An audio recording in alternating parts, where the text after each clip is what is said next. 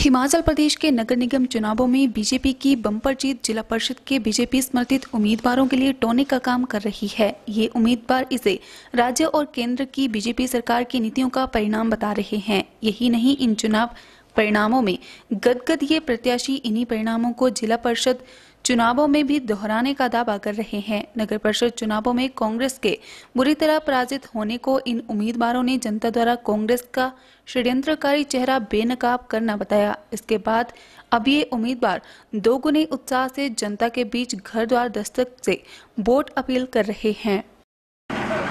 भाजपा समर्थित समर्पित उम्मीदवार को फ़ायदा होगा, बहुत ज़्यादा फ़ायदा होगा।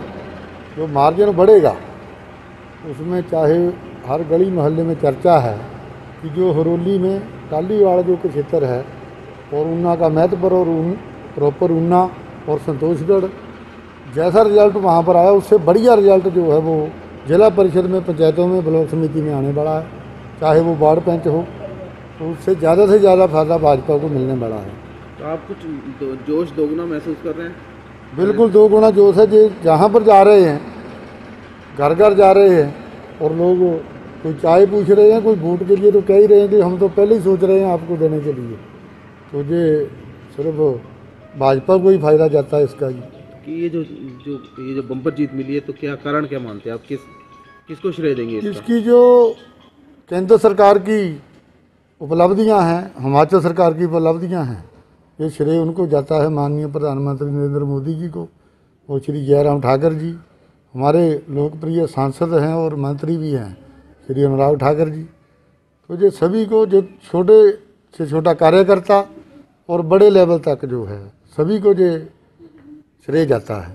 चाहे वो पन्ना प्रमुख क्यों ना हो, या बूथ स्तर का प्रधान हो, चाहे वो जनरल सेक्रेटरी हो, ये उन सभी को जाता है श्रेय। तो अगर इन्होंने कुछ करवाया है तो इतना ज़्यादा क्यों भाग रहे हैं? अगर मुकेश जी को बहुत विश्वास है तो उनके लड़ रहे हैं कार्यकर्ता लड़े। खुद क्यों भाग रहे हैं इतना ज़्यादा? जरा पता करना। पंडुका जिला परिषद वार्ड पर इतना ज़्यादा भाग रहे हैं दिन रात। जहाँ पर क्या खो गया उनका?